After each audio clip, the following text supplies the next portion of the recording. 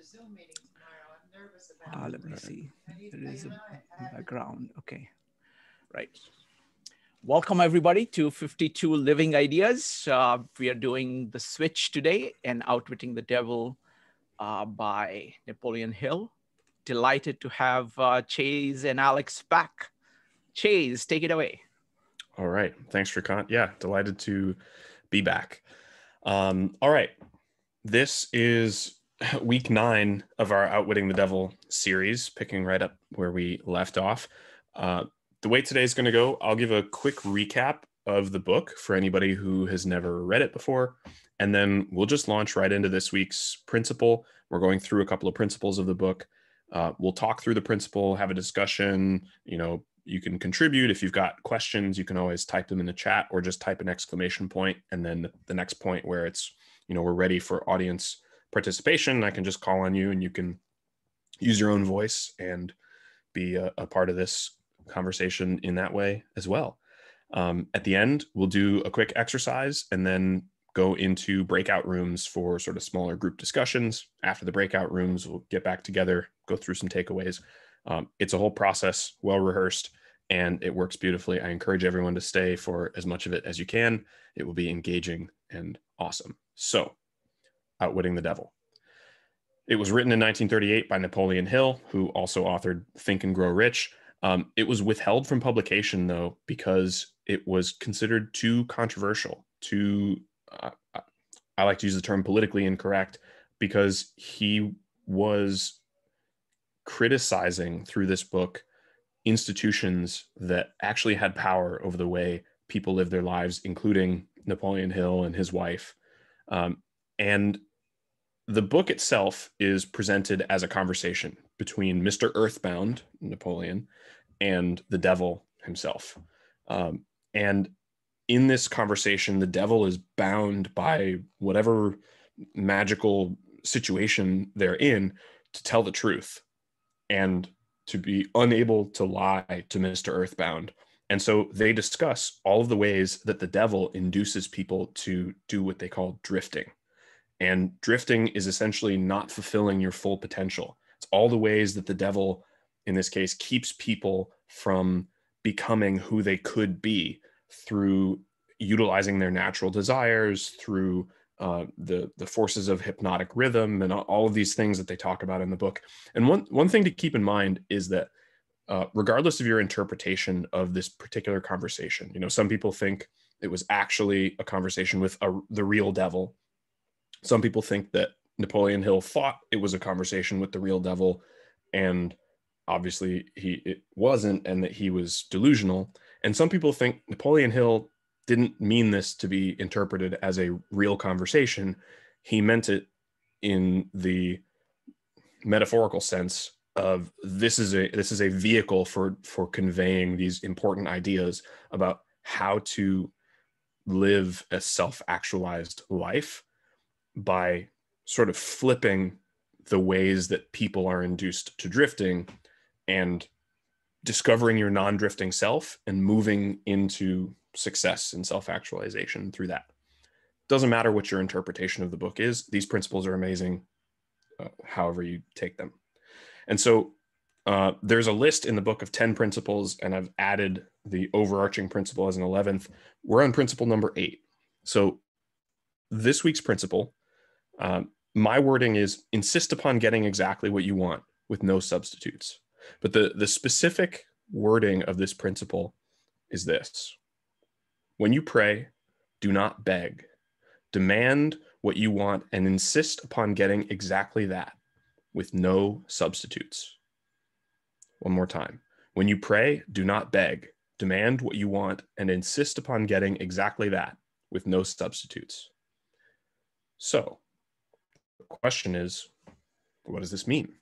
What what is the point of this imperative? And to that I will turn to my co-host Alex to uh, get your interpretation. All right. Um, thanks for the intro. Uh, so I think there's a few things. I think the first thing that stands out to me is uh, demand what you want and insist upon getting exactly that with no substitutes. What that really brings to mind for me is a a habit I noticed in myself and a lot of people where goals start to uh, goals don't end up being reached because of a very slow slip. It didn't quite hit it. That's fine. But then the standard is slightly lowered for the next time.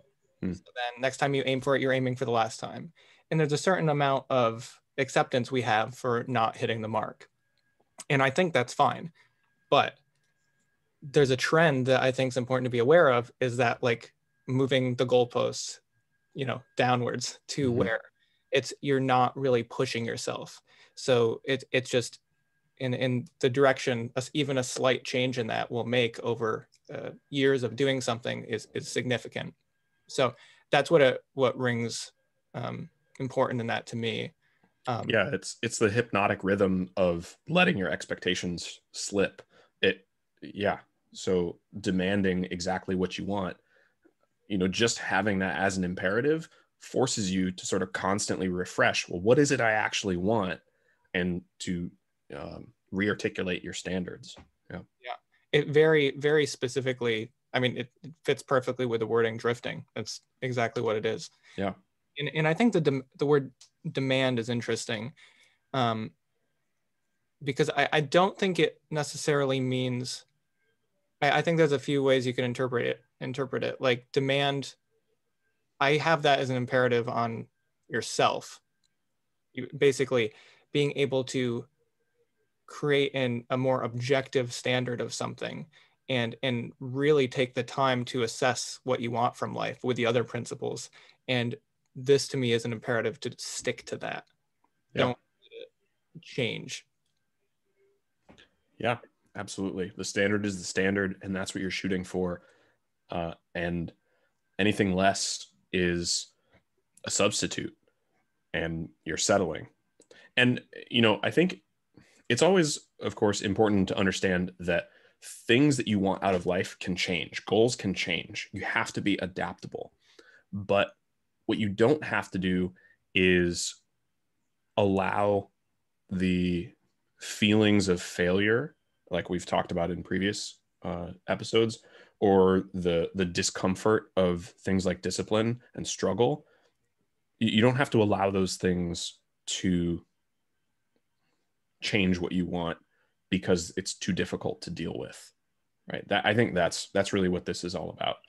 And there's there's actually a, a paragraph that i want to read from the book or a page that i want to read from the book that talks about prayer specifically because uh, you know I, i'm i'm uh, not a religious person uh, and so for me to hear this imperative as when you pray do not beg my question is well what's the secular interpretation of that? Because i think prayer serves a very specific function regardless of what religious uh, you know angle you take on it the, the religions all over the world have some form of prayer or um, introspection or you know whatever it, it is. And there's got to be some framing of that that makes sense outside of the language of prayer specifically. So you know I, first of all that's a question to the audience. What does it mean pray like what would be the secular translation for prayer? Um, so while we think about that and we'll come to the audience i want to read this and talk about what i got from that. Okay. There's nothing oh so um, mr earthbound asks the devil you just said that definiteness of purpose is the only sort of prayer upon which one can rely. Now you say that all prayers bring results. What do you mean and the devil answers there's nothing inconsistent about it the majority of people who pray go to prayer only after everything else fails them. Naturally, they go with their minds filled with fear that the prayers will not be answered. Well, those fears are realized. The person who goes to prayer with definiteness of purpose and faith in the attainment of that purpose puts into motion the laws of nature which transmute one's dominating desires into their physical equivalent. That is all there is to prayer. One form of prayer is negative and brings only negative results. One form of prayer uh, one form is positive and brings definite positive results. Could anything be more simple? People who whine and beg to God to assume responsibility for all their troubles and provide them with all the necess- necessities and luxuries of life are too lazy to create what they want and translate it into existence through the power of their own minds. When you hear a person praying for something that he should procure through his own efforts, you may be sure you are listening to a drifter. Infinite intelligence favors only those who understand and adapt themselves to her laws. She makes no discrimination because of fine character or pleasing personality.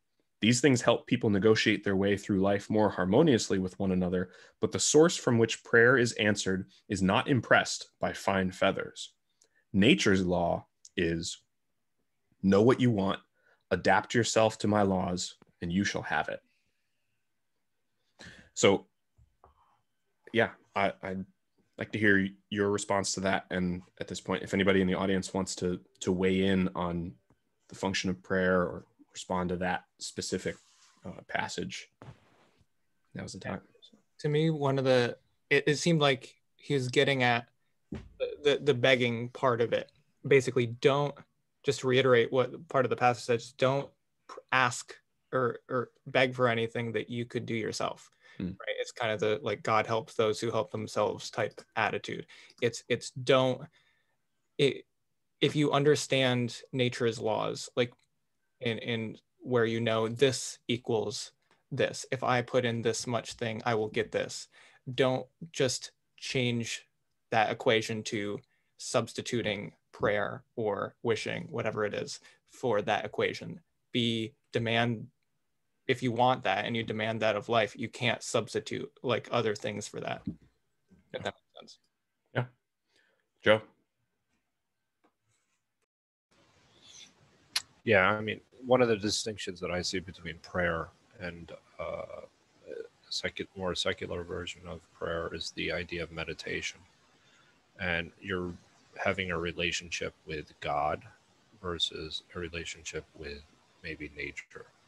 So I, I that's how I see one of those distinctions. Um, as far as the potential effects of them, uh, you know, I think that they're you know there are benefits to both in a way um, i really like the concept too is that if you see god in everyone else then i think that that's a very healthy way of uh, of you know meditating and actually um, and uh, and you know accepting you know not necessarily dogmatic religious beliefs but as well as like but just respecting the fact that uh, you're respecting nature and everyone else in that process. So that's how uh, I've come to think about. Um, that's the distinction I would make. It's maybe meditation and versus you know this idea of prayer and a personal relationship with God. But the it's not personal. It's just like I look at it as seeing God in everyone else. Oh, thanks, Joe. Caton. Oh, is it my turn? Yeah. Okay. Um. So, I think I just uh, chatted, but uh, yes, when I was growing up, until like say early twenties, I was doing more like Catholic. Was raised Catholic, so of course you have to pray. You know, you pray when the in the context of the religion. But as I get to explore my own mind and make my own determination, I don't know if I'm Catholic or not. You know, I explored. I'm, I consider myself more spiritual. So then I always tell my, you know, that I, I make wishes. So, you know, just uh, you go out walking at night or something, just kind of get closer to the universe. It's it's more like a ceremony or mood and just make the wishes. And I don't know if it's wishing or praying outside or going inside because after Jung, maybe it's all inside the self, you know. So I think it's kind of like the similar thing. It come true, but I did have a question. Um, how do you reckon with disappointment? You know, for example, you say just no holds barred, ask full throttle, but I guess people just maybe stop short because they don't want to get disappointed. You know, um, is that how what you mean by if you understand nature's laws? So you kind of know your limits in X. You know, what do you mean by that? Yeah, that's a good question. Um, unfortunately, the hard truth is that you get out of life what you put in, and to to hold yourself back because of disappointment or to you know to wallow in disappointment at not achieving an ideal like i i don't think that's very productive um, behavior in general. Disappointment's hard and it's easier said than done to just deal with it in you know the most productive way possible. But at the end of the day i think that's also the the maturest thing to do is to understand you will be disappointed at some point especially if you demand high uh, high standard from yourself and from life. And the best thing that you can do is learn from failure and move on. We we, we actually did a whole episode on failure uh, specifically about how you can extract from defeat or failure the seed of equivalent advantage. I think that's the posture to take in the face of failure rather than you know disappointment or the the sort of emotional side of um, you know reminding yourself that you failed. But that's that's a that's a hard truth to swallow and not everybody will do that and yeah. So you just ask okay. for the full full thing and then whatever you get disappointed or not you just get that. Uh, in some sense yeah but it, it's it's also like you have to realize that you have the power to affect what you get out of life and you know this this also goes to the stoic attitude as well of there are things in life that you can control and things that you can't for the things that you can control you need to act with virtue that's wisdom courage um, i'm blanking wisdom courage there are the four stoic virtues uh, wisdom, courage, justice, and prudence. Prudence. Prudence. That's it. Thank you. Uh, for the things that you can control, you act with those virtues. For the things that you can't control, you act with equanimity. You understand that the things that are out of your control are out of your control. And, uh, you know, that's how it goes. All right. Shrikant, sorry, you look like you're sorry. just something. just uh, correction. Uh, so it is prudence, temperance, courage, and what was the fourth one? Wisdom, justice, justice. Justice. Yeah, that's justice. it. Yes. All right. Uh, next is Mike, and then Ritesh. Mike, you're up. Okay. Um, uh, since we aren't supposed to talk about uh, really religion or politics, I'll say that uh, uh the uh, there's this uh, the, the secret, the the secret of the universe of tell the universe what you want, and uh, it'll pro- it'll probably, and you'll if you visualize it right, that'll set the tone that synchronicity will work and you'll get it, and that's not inconsistent with Matthew six, which is the run up to the service as uh, to the Sermon on the Mount, where um, uh, Matthew is trying to explain uh, how you should pray. And uh, uh, I, um, uh, you're not supposed to say, uh, "Oh, there's that song." Um, uh, God, God, get me a Mercedes Benz. All my friends have Porsches, and I must make amends. That's not the way to pray. You need to uh, work on more realistic goals that uh, fit your lifestyle. Um, unless, of course, the, your lifestyle requires the Mercedes Benz. Um, now, uh, eh, there's a story uh, which may be apocryphal that uh, Mother Teresa was being interviewed, I, I think, by Barbara Walters. And uh, uh, Barbara Walters asked her, Do you pray? And she said, Yes, I, I pray.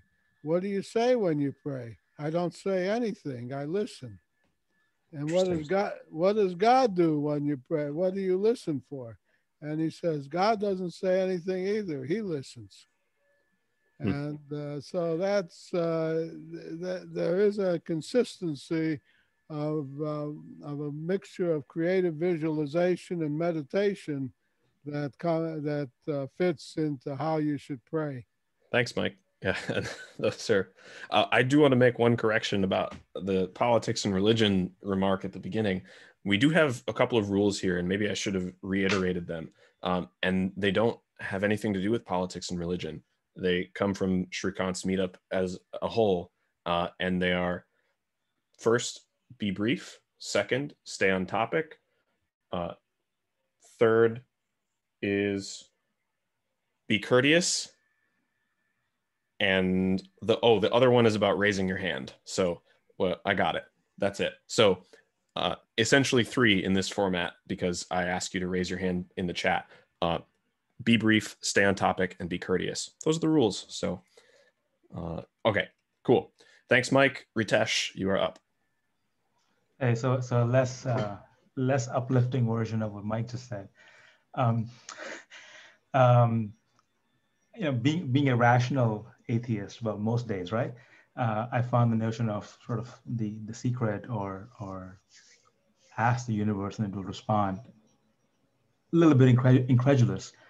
But recently, uh, you know, my brain kind of opened up to the notion of self self hypnosis, and uh, I was reading a book called The Power of the Unconscious Mind, which is a very interesting book because it refers to the New Testament throughout the book, but he refers to it as what Mike just said, praying as a way of opening your mind up to the possibility of accomplishing it.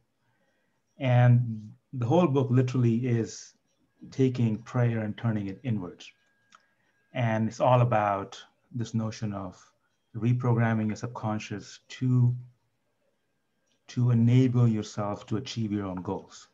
So it's really turning it inwards from ask the universe and thou shalt receive, or how we put it, to letting yourself achieve your goals or in a more uh, you know negative sense negative formulation stopping yourself from sabotaging your, yourself right? yeah and and that you know after hearing so many people talk about you know affirmations and sort of attraction and so on and so forth and being like seriously come on right and we've all heard about the the dave chappelle skit about you know the, the starving child not wishing for pork chops.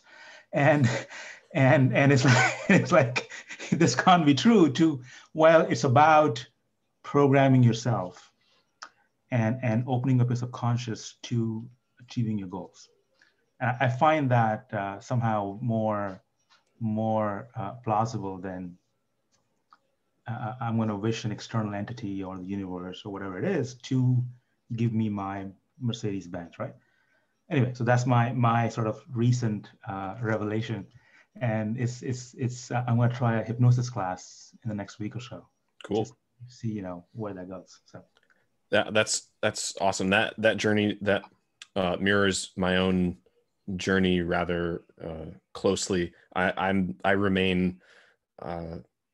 I continually have sort of a disgust response to like the secret and the the that sort of new agey type of thing. But um, what I have realized through sort of having people you know closely in my life who are very into that is that I you know I think that they're they have their heads on backwards with the mechanism, but often the techniques themselves are actually pretty good and you know even doing things like affirmations and vision boards and you know what the things like that like that's those are good techniques for you know cultivating a successful mindset and and like you said sort of priming your subconscious to let yourself succeed.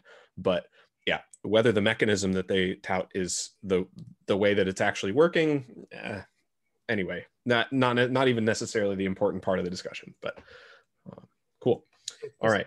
On, on this one one last thing. Sure. It's I think it's effective when it is part of the work, right? Like when you're actually sitting down and it's not a a like it describes here a begging for wishing something to be different, but it's actually you doing something that's equivalent like like meditation is often compared to working out right doing reps like returning to the breath it's it's it can be difficult and it's hard to keep and it's important to stay consistent and it just trains the mind over time. So I, I think it, it, it's like it's like if we called uh, working out like anything that you were in the gym, not actually mm-hmm. doing the work. So like a, a, a begging wish to the universe would be the equivalent of going to the gym and just sitting there and not doing anything Hmm.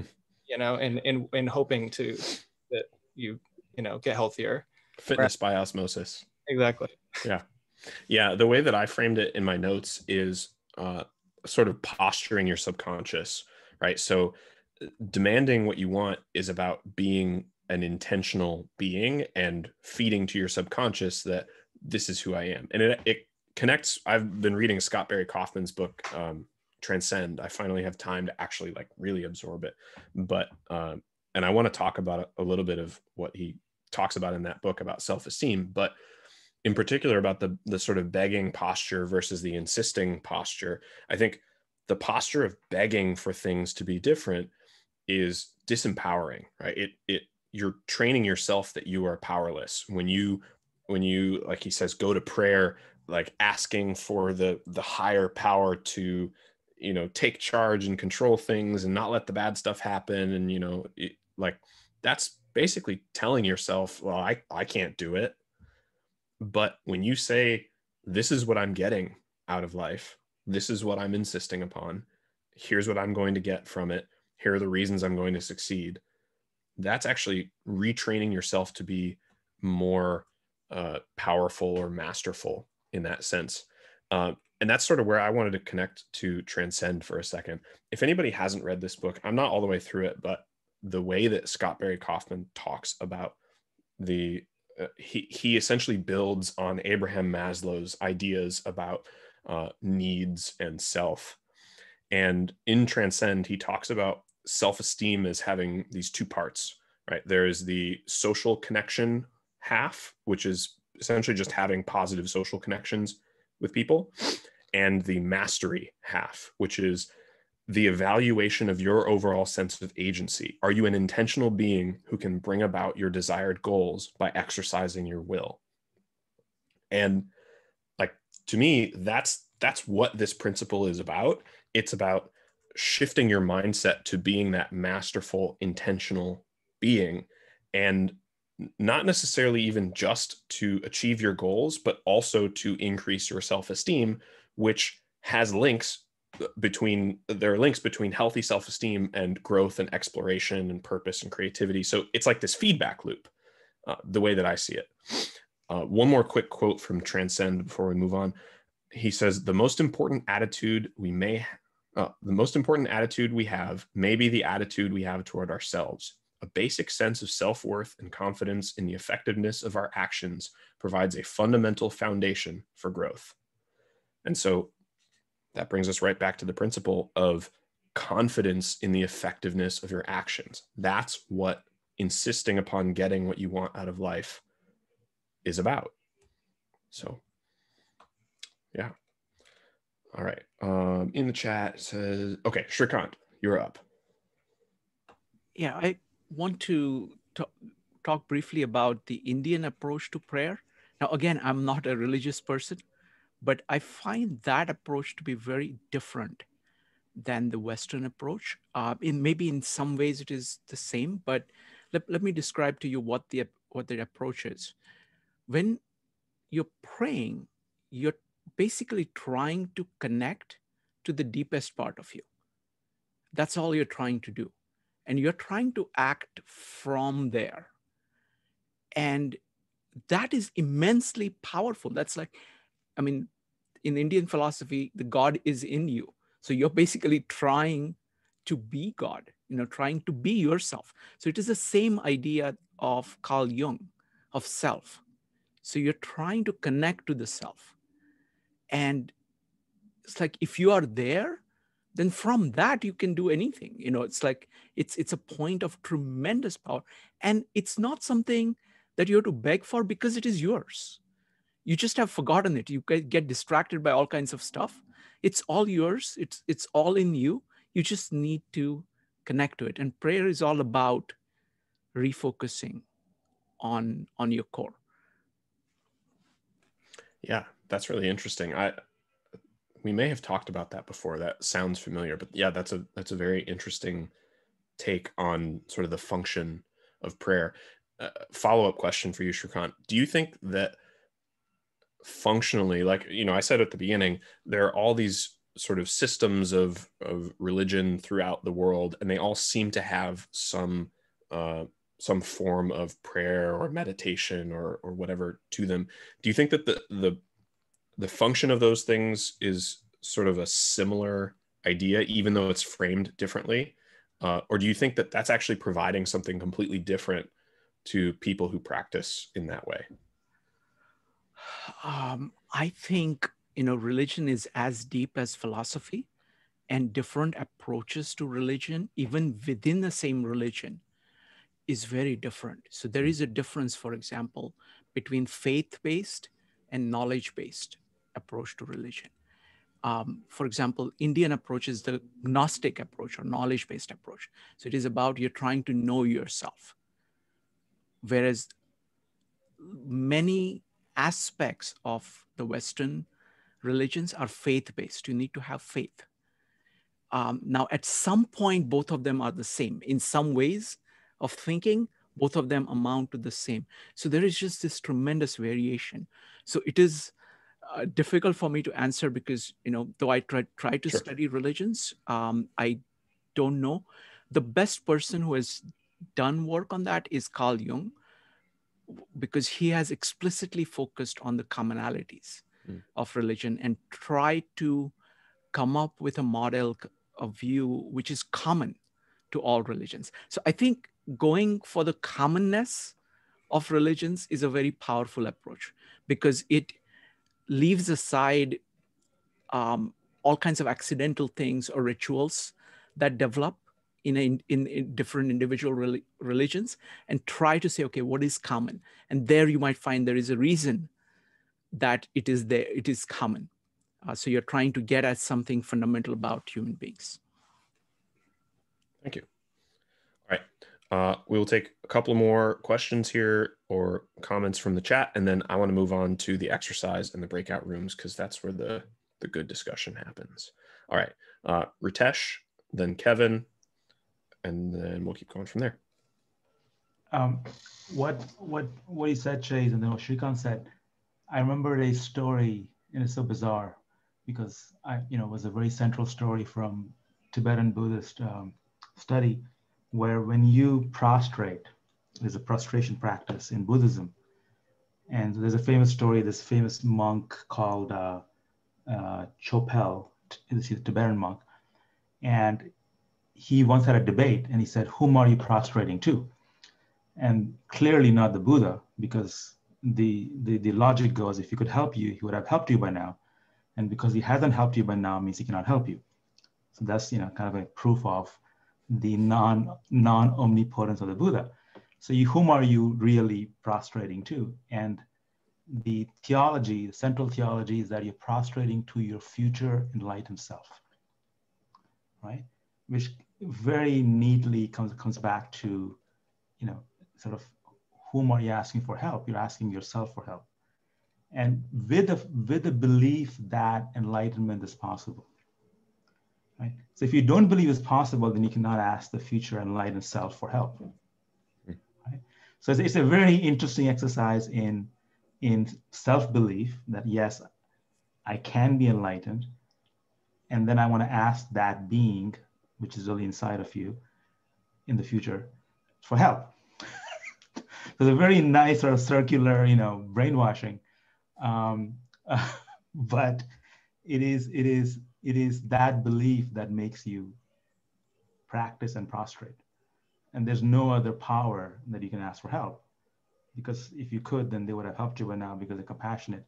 And because they haven't means they cannot. That's kind of the logic, how the logic goes. Interesting. That's that's a you know counterpoint or a a supplementary point to the prayer aspect in in uh, sort of Eastern traditions. Thank you. All right, uh, Kevin. Hey, it's nice to see you back, Chase. Yeah, Thank you. Happy New Year. Um, New Year. I got a two part about uh, beggar and uh, let's see prayer. One is for beggars, uh, tangible. You try to help yourself as something. Uh, food or money, whatever, you know, or your family. The prayer is more spirit, spiritual. And for others, you possibly pray for the world, for your, uh, uh, even let's see prayer for next future yourself or rebirth kind of thing. That's you know kind of commonality. Another about it, that's a good question you pop up ask uh, about uh, religious. I would say that's historical based on demographic, let's see from European, Middle East, and Asia, Indian. Um, here, if let's see, assume uh, now we want to form another new religions. Now possibly we name a global city environment, the digital environment. So would it be a bit different?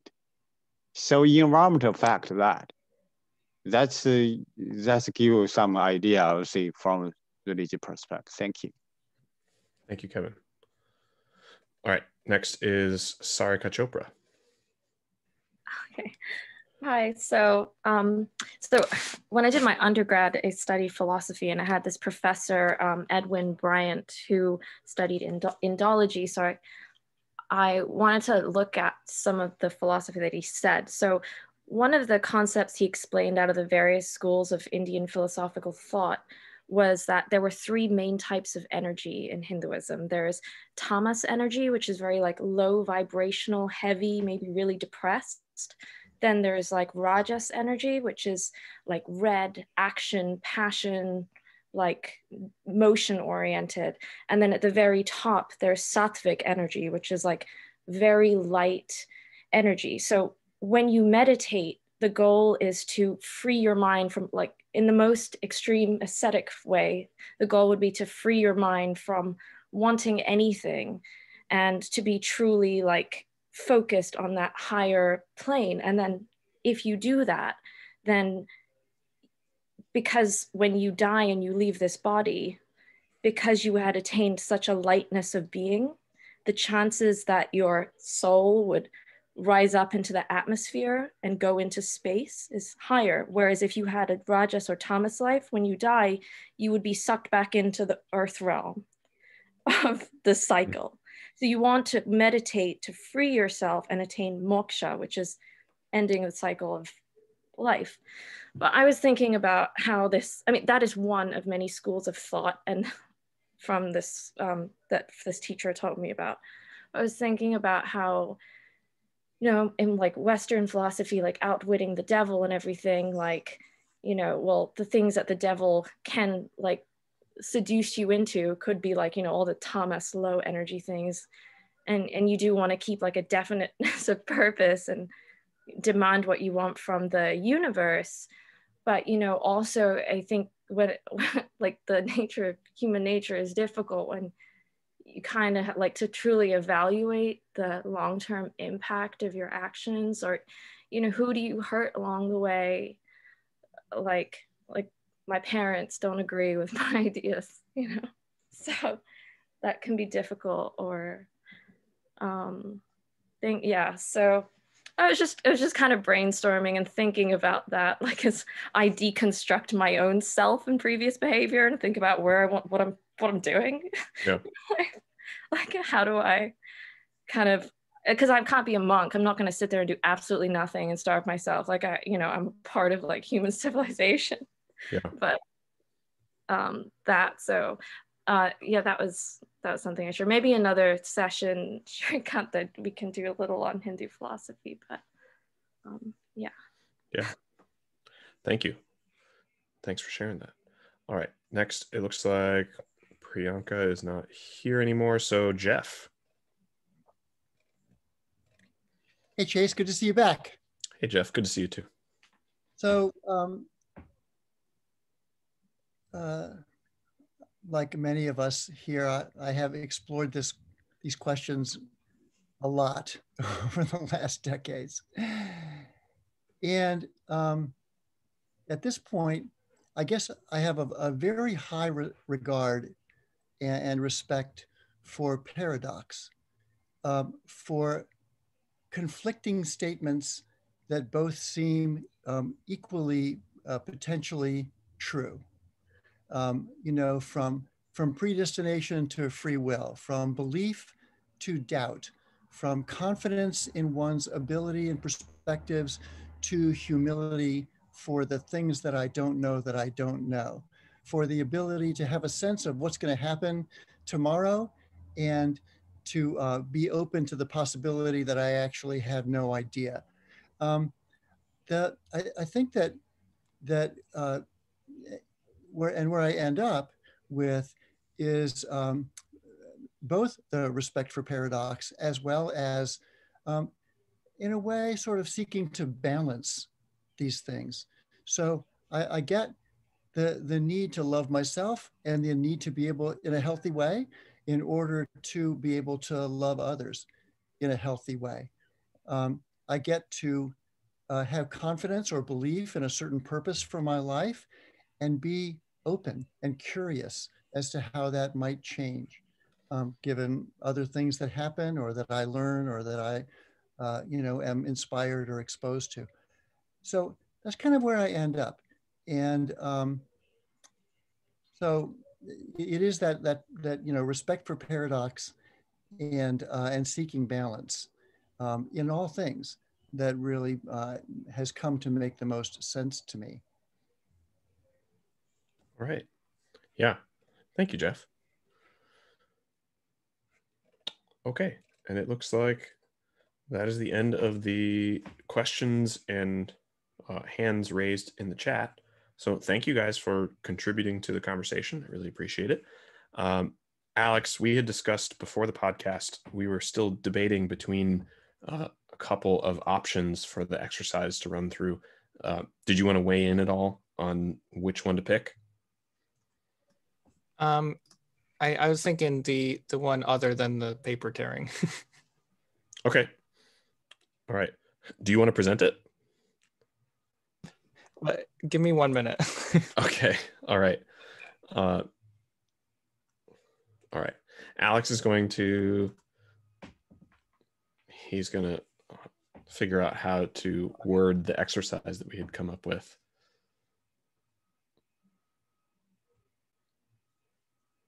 Okay. And then, okay.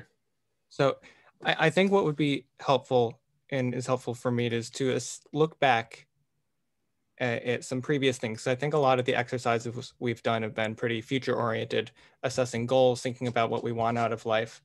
Um, but I think it might be useful this time to, to look back a little bit and kind of assess, look for something in our lives where this statement may apply. So for me, it's it's going to reflect more on the the second part of it, which is demand what you want out of life, and um, basically find somewhere where you basically unknowingly drifted um, because of a lack of demanding what you wanted, a, a slow, um, you know, deterioration of goals.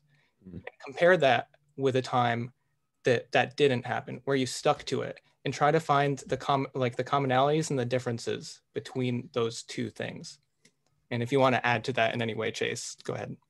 Yeah, I, I think the only thing to add to that would be again that sort of uh, begging posture versus insisting posture, and really, you know, think about your mindset in those moments. Um, yeah. So, do you want to try to go through the exercise now, or uh, we can also use that as the discussion topic as we go into the breakout rooms. Yeah, let's let's use it as the discussion topic.